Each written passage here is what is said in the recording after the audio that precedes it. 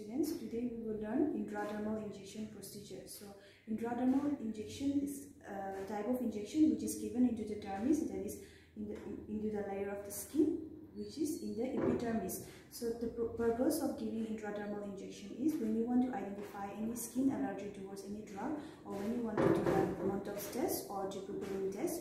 For this purpose, we give intradermal injection. So for this procedure, we need an article where a tray containing uh, a ball with an antiseptic swab, then the syringe, so 1 ml syringe, and you remember that the needle should be of 25 to 27 course, and the medication on which you are going to give the intra, uh, intradermal injection. Then you need a paper bag to discard the waste, then the kidney tray to discard the waste, and you also need a medication card in order to cross-check the patient as well as the medication before you administer the drug, and you need a sterile gloves, and also you need a pen in order to uh, encircle the site of injection after giving the, the injection. So for this, uh, the site of giving uh, intradermal injection are uh, the upper arm, the upper chest and the upper back. So for this procedure, we will be selecting the upper arm. Alright, so before giving the injection, you have to explain the procedure to the client, do hand washing, then after hand washing, put on the gloves. Then after that, you, you need to take the antiseptic swab then cleans the area in a circular motion.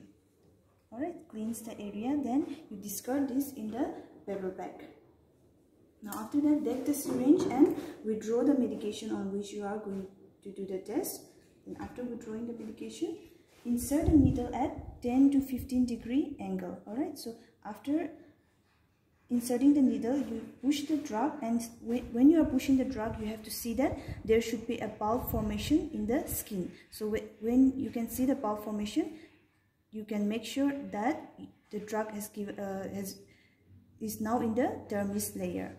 Now after administering the drug you have to withdraw the syringe at the same angle on which you have inserted after that, discard it in the kidney tray. Then you take the pen and encircle the area on which you have given the injection. Right? After encircling, you need to mention the date. Suppose today is 24 at 11 a.m. So like that, you need to mention the date and the time of giving injection. Alright, so after that, you need to do hand washing, then replace the article. Alright, thank you.